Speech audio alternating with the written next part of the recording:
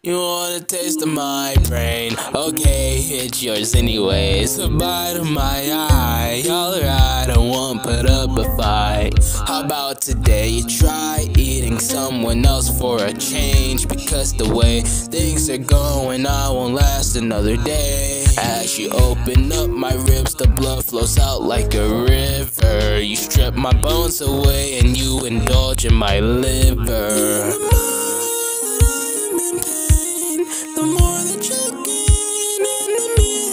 Like a pretty feature. You burn my nervous system at night. The time it sacrifices must be made.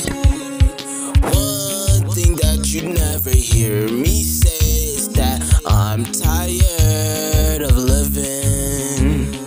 Funny thing, that statement changed today. Good thing that forgiving.